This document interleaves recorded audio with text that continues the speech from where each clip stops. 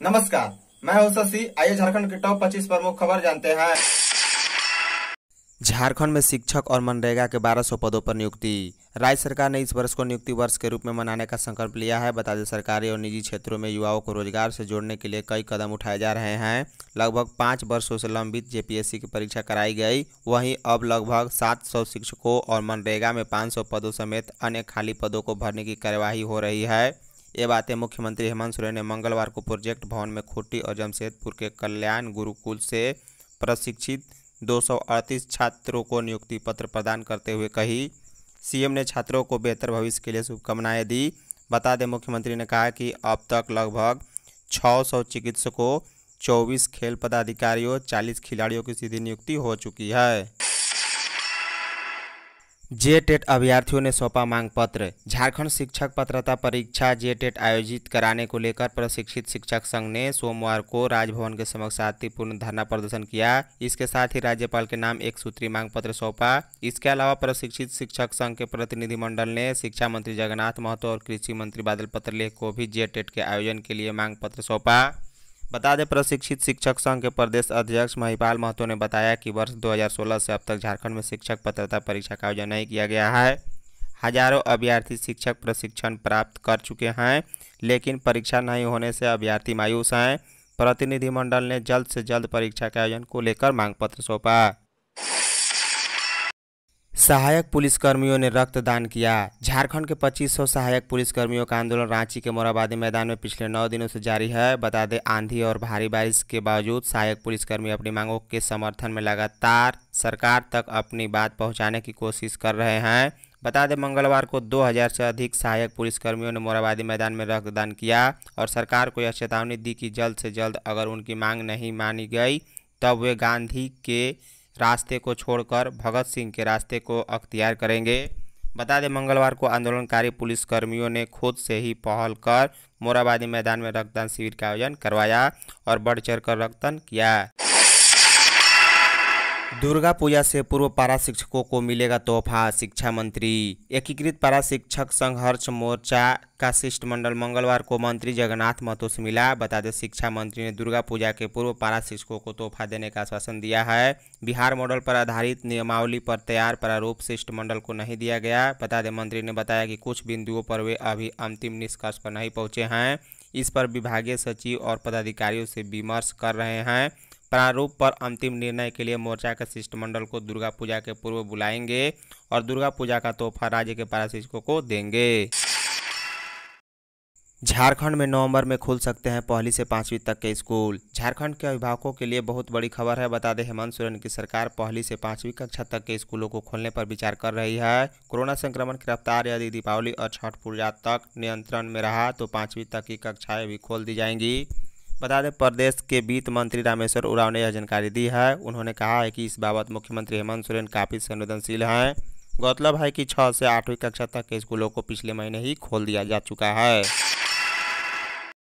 अपात्र व्यक्ति अपना राशन कार्ड करे सरेंडर। झारखंड की राजधानी रांची ज़िले में वैसे व्यक्ति जिन्होंने अपात्र होते हुए भी अपना राशन कार्ड बनवा रखा है, वो जल्द से जल्द अपना राशन कार्ड जमा कर दे, नहीं तो ऐसे लोगों को चिन्हित कर कार्रवाई की जाएगी। बता दें, रांची डीसी छवि रंजन ने खाद्य आपूर्ति संबंधी समीक्षा बैठक में निर्देश दिए हैं।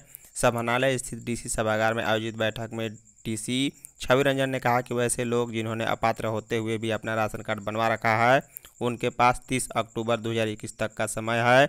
निर्धारित तिथि से पहले वैसे व्यक्ति अपना राशन कार्ड जिला आपूर्ति कार्यालय में जमा कर सकते हैं। गुमला शहर नो पार्किंग जोन घोषित। गुमला शहर की ट्रैफ़िक व्यवस्था को लेकर प्रशासन ने कड़ा रुख अपनाया है। बता दें गुमला शहर को नो पार्किंग जोन घोषित कर दिया गया है। अब बीच सड़क पर बसें नहीं रुकेंगी, न ही बीच सड़क पर बस खड़ी कर यात्री बैठाया या उतारा जाएगा। बता दें, यहाँ तक कि सुबह आठ बजे से रात आठ बजे तक किसी भी दुकानदार को मालवाहक वाहन खड़ी करके सामानों की लोडिंग व अनलोडिंग नहीं करनी है। अगर ऐसा करते कोई पकड़ा जाता है तो मोटर वाहन अधिनियम के तहत कार्रवाई तय है। वहीं बस ऑनर ने इस नियम का विरोध किया है। झारखंड के राज्यपाल हेमंत सरकार से टकराव नहीं चाहते। राज्यपाल रमेश बैस ने कहा है कि जनजातीय परामर्शदात्री परिषद के गठन में राज्यपाल की भूमिका खत्म कर दी गई है, जो गलत है। टीएससी का गठन संविधान की पाँचवीं अनुसूची के अंतर्गत आता है, जिसमें राजभवन की महत्वपूर्ण भूमिका होती है। उन्होंने कहा कि उन्हें काफ़ी दुख है कि राज्य का विकास नहीं हो पाया। यह भी कहा कि राज्य सरकार विकास का काम करे, राज्य के विकास के लिए वे प्रोटोकॉल तोड़कर भी सहयोग करने को तैयार हैं। एक सवाल के जवाब में उन्होंने कहा कि वे सरकार से टकराव नहीं, सहयोग करना चाहते हैं। वे सरकार को परामर्श ही दे सकते हैं, करना या नहीं करना उनके हाथ में है। बता दें, उन्होंने यह भी कहा कि मुख्यमंत्री हेमंत सोरेन से भी उनकी बातचीत हुई है, वे भी राज्य का विकास करना चाहते हैं। सौ रोज़गार के लिए सरकार दे रही 25 लाख तक का ऋण, मुख्यमंत्री। तकनीकी या औद्योगिक प्रशिक्षण ले चुके युवा यदि स्वरोजगार करना चाहते हैं तो उनके लिए सब्सिडी आधारित 25 लाख रुपए तक का ऋण देने की योजना राज्य सरकार ने शुरू की है। बता दें, वे इस योजना का लाभ लेकर अपना खुद का काम, दुकान इत्यादि शुरू कर सकते हैं। यह जानकारी मुख्यमंत्री हेमंत सोरेन ने मंगलवार को प्रोजेक्ट भवन में छात्रों को नियुक्ति पत्र प्रदान करते हुए कही। मुख्यमंत्री ने उम्मीद जताई कि ये प्रशिक्षित युवक आने वाले दिनों में न सिर्फ़ अपने लिए बल्कि दूसरों के लिए भी रोज़गार का दरवाज़ा खोलेंगे। झारखंड में कोरोना के एक भी नए केस नहीं मिले हैं। बता दें, झारखंड में कुल एक्टिव केस की संख्या नब्बे है। भारत में उन्नीस हज़ार इकतीस नए कोरोना के मरीज़ मिले हैं। भारत में कुल एक्टिव केस की संख्या दो लाख उनचालीस हज़ार छः सौ इक्यानवे है। तमिलनाडु से पश्चिमी सिंहभूम की 10 युवतियों की हुई घर वापसी। मुख्यमंत्री हेमंत सोरेन के निर्देश के बाद पश्चिमी सिंहभूम की 10 युवतियाँ तमिलनाडु के त्रिपुरा से झारखंड वापस लौट आई हैं। बता दें, सभी त्रिपुरा में के पी आर तीन कंपनी में काम करने गई थी, लेकिन वहाँ भाषा की समस्या होने पर उन्हें काम करने में परेशानी होने लगी। इसके बाद युवतियों ने वापस आने के लिए श्रम विभाग के अंतर्गत राज्य प्रवासी नियंत्रण कक्ष से मदद मांगी। मामले की जानकारी मिलने के बाद मुख्यमंत्री ने श्रम विभाग और नियंत्रण कक्ष को युवतियों को वापस लाने का निर्देश दिया। केंद्र और यूपी सरकार को चूड़ी भेंट करेगी महिला कांग्रेस। महिला कांग्रेस केंद्र सरकार और यूपी सरकार को चूड़ी भेंट करेगी, बता दें। अखिल भारतीय महिला कांग्रेस कमेटी के अध्यक्ष नेटा डिसूजा के निर्देश पर झारखंड प्रदेश महिला कांग्रेस कमेटी के अध्यक्ष गुंजन सिंह ने सभी जिला महिला कांग्रेस कमेटी को निर्देश दिया है। बता दें, उत्तर प्रदेश के लखीमपुर में आंदोलनकारी किसानों की निर्मम हत्या और कांग्रेस के प्रियंका गांधी के साथ धक्का मुक्की के साथ गिरफ्तारी के खिलाफ इस कार्रवाई का निर्णय लिया है।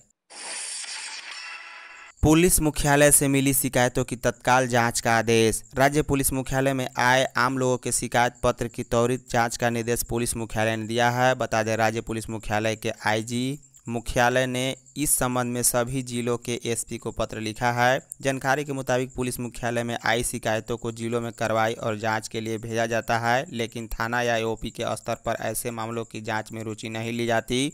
ऐसे में पुलिस मुख्यालय ने इस मामले को गंभीरता से लेते हुए कार्रवाई का आदेश दिया है। झारखंड पंचायत चुनाव के लिए यूपी से पचास हज़ार बैलेट यूनिट मंगाई जाएगी। राज्य निर्वाचन आयुक्त डॉक्टर डी. के तिवारी ने कहा कि झारखंड में पंचायत चुनाव कराने के लिए उत्तर प्रदेश से बैलेट यूनिट मंगाई जाएगी। राज्य में चुनाव की तैयारी के अंतिम चरण में है। राज्य निर्वाचन आयोग कोविड नाइन्टीन संक्रमण की आशंका के मद्देनजर पचास हज़ार बैलेट यूनिट की ज़रूरत है। हाल ही में पंचायत चुनाव कराने वाले उत्तर प्रदेश से बैलेट यूनिट मंगाई जा रही है। झारखंड पॉलिटेक्निक और इंजीनियरिंग के शिक्षकों को मिलेगा प्रशिक्षण। राज्य में संचालित पॉलिटेक्निक और इंजीनियरिंग संस्थानों में कार्यरत शिक्षकों व कर्मियों को प्रशिक्षण देने के लिए झारखंड में भी सेंटर खोला जा रहा है। इसके लिए कोलकाता स्थित National Institute of Technical Teachers Training and Research ने सेंटर खोलने पर अपनी सहमति प्रदान कर दी है। बता दें, झारखंड में सामान्य बीवी के शिक्षकों को प्रशिक्षण, ओरिएंटेशन व रिफ्रेशर कोर्स के लिए रांची बीवी में मानव संसाधन विकास केंद्र है, लेकिन तकनीकी संस्थानों ने शिक्षकों के लिए कोलकाता या फिर अन्य जगहों पर जाना पड़ता था। सेंटर के स्थापना की जिम्मेवारी उच्च व तकनीकी शिक्षा विभाग को दी गई है। बिजली सब स्टेशन में डकैती का पुलिस ने किया खुलासा। झारखंड के बोकारो ज़िले के ललपनिया के तिलैया स्थित निर्माणाधीन विद्युत सब स्टेशन में बीते 22 सितंबर की रात हुई डकैती का पुलिस ने उद्भेदन कर लिया है। बता दें, धनबाद के महुदा में छापेमारी कर पाँच अपराधियों को पुलिस ने दबोचा है, जिनकी निशानदेही व कबूलनामा के आधार पर पुलिस ने मामले से जुड़े कई अहम बिंदुओं का निपटारा किया। बता दें बालीडीह क्षेत्र के बैया स्थित एक फैक्ट्री से चोरी हुई मामले की बरामदगी भी की गई है, जिसमें ट्रांसफार्मर को क्षतिग्रस्त कर निकाले गए कॉपर क्वाइल व बिजली के तार शामिल हैं। देवघर ज़िले से आठ साइबर अपराधी गिरफ़्तार, पेमेंट गेमिंग ऐप से उड़ाते थे पैसा। झारखंड के देवघर के साइबर थाने की पुलिस ने पेमेंट और गेमिंग ऐप के ज़रिए ठगी करने वाले आठ साइबर अपराधियों को गिरफ़्तार किया है। बता दें, इनके पास से आठ मोबाइल, पंद्रह सिम कार्ड और चार एटीएम कार्ड बरामद किए गए हैं। गिरफ़्तार साइबर अपराधियों में मोहनपुर थाना क्षेत्र के लतासे गाँव के विकास यादव, एकांत कुमार, कलहोड़िया के भविष्य कुमार गुड्डू, देवानंद व टुनटुन तथा फरकासिमर गाँव के टीकू मंडल व बबलू कुमार शामिल हैं।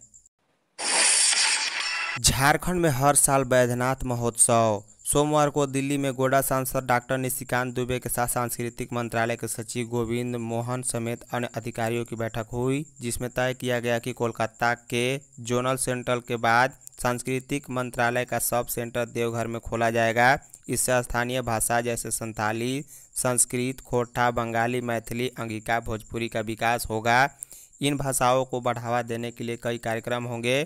निर्णय लिया गया कि देवघर में प्रत्येक वर्ष बैद्यनाथ महोत्सव आयोजित कराने के लिए सांस्कृतिक मंत्रालय फंड मुहैया कराएगा। इसका आयोजन महाशिवरात्रि के आसपास होगा। पचहत्तर घंटे में रांची के डॉक्टर जाकिर हुसैन पार्क का हुआ कायाकल्प। छः साल बाद रांची स्थित डॉक्टर जाकिर हुसैन पार्क राजधानी वासियों के लिए खुल गया है। इसके खुलते ही पार्क की रौनक एक बार फिर बढ़ने लगी है। बता दें, राजभवन के पास बने इस पार्क के खुलते ही बच्चों समेत बड़ों में खूब मस्ती करते दिखे। सीएम हेमंत सोरेन ने ट्वीट कर कहा कि राजधानी वासियों के मनोरंजन के लिए यह पार्क एक बार फिर खोल दिया गया है। बता दें, रांची नगर निगम ने आज़ादी के अमृत महोत्सव के तहत पार्क को पचहत्तर घंटे के अंदर कायाकल्प करने का निर्णय लिया था। पीएलएफआई सुप्रीमो दिनेश गोप का साथी मनीष गोप गिरफ़्तार। झारखंड की खोटी पुलिस ने पीएलएफआई के सदस्य मनीष गोप, उप महेश्वर गोप को गिरफ़्तार कर लिया है। बता दें, वह जरियागढ़ थाना क्षेत्र के बड़का रेगड़े तेतर टोली गाँव निवासी हैं। पुलिस ने उसे गुमला से गिरफ़्तार किया है। एसपी आशुतोष शेखर के अनुसार मनीष गोप उर्फ़ महेश्वर गोप पीएलएफआई प्रमुख दिनेश गोप की टीम का साथी सदस्य था।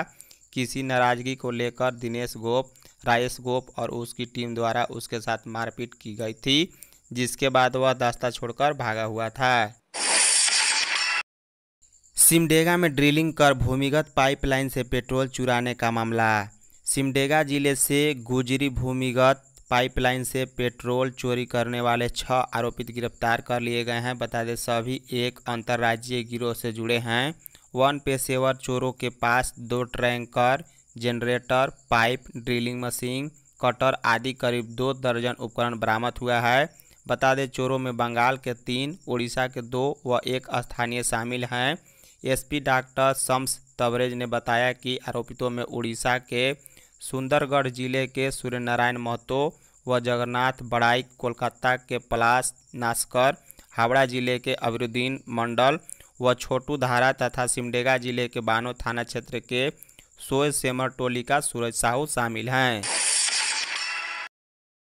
खुली जेल में भेजे जाएँगे आत्मसमर्पण करने वाले नक्सली। राज्य के एकलौते हजारीबाग स्थित खुली जेल में अब वैसे सभी नक्सली भी भेजे जाएँगे, जो पुलिस प्रशासन के सामने आत्मसमर्पण करने से विभिन्न जेलों में बंद हैं। बता दें, मुख्यमंत्री हेमंत सोरेन की पहल पर एक कमेटी गठित की गई है, जो वैसे नक्सलियों की स्क्रीनिंग कर उन्हें खुली जेल में सब परिवार रहने की स्वीकृति देगी। राज्य के विभिन्न जेलों में बंद, ऐसे उग्रवादियों की संख्या करीब पचास है।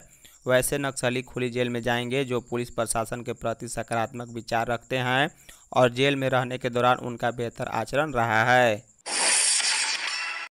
बीआईटी मेसरा के दीक्षा समारोह में 35 विद्यार्थियों को गोल्ड मेडल। बीआईटी मेसरा का इकतीसवां दीक्षा समारोह बुधवार को होगा, बता दें संस्था ने अपनी तैयारी पूरी कर ली है। दीक्षा समारोह में कुल 35 विद्यार्थियों को गोल्ड मेडल देने के साथ पैंसठ को डिग्री बांटी जाएगी।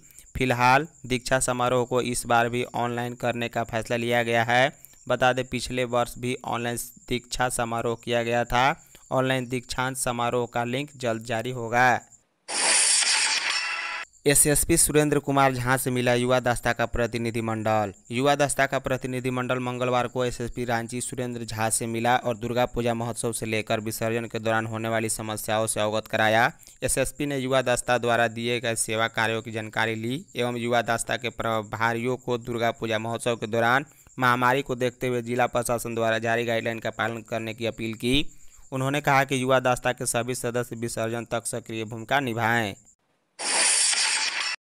नक्सल प्रभावित इलाकों में 4G में अपग्रेड होंगे मोबाइल टावर। झारखंड के नक्सल प्रभावित जिलों में कनेक्टिविटी को दुरुस्त करने के लिए सरकार ने मेगा प्लान बनाया है। इसके उद्देश्य रेड कॉरिडोर में मोबाइल नेटवर्क को उच्च स्तरीय बनाने के साथ सुदूरवर्ती क्षेत्र को इंटरनेट से भी जोड़ना है।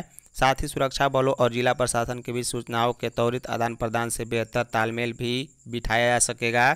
सरकार ने यूनिवर्सल सर्विस ऑब्लिगेशन फंड के तहत 800 मोबाइल टावर्स को 4G नेटवर्क में ऑपरेट करने का फैसला किया है, ताकि मोबाइल नेटवर्क को दुरुस्त किया जा सके और कम्युनिकेशन संबंधी समस्याओं से निदान मिल सके। धन्यवाद। आवश्यक सूचना। दिन भर की तमाम खबर को जानने के लिए शाम पाँच बजे संध्या समाचार अपलोड किया जाता है, जिसे देखना ना भूले। साथ ही साथ वीडियो को एक लाइक कर अपने दोस्तों के साथ शेयर करना भी ना भूले। धन्यवाद।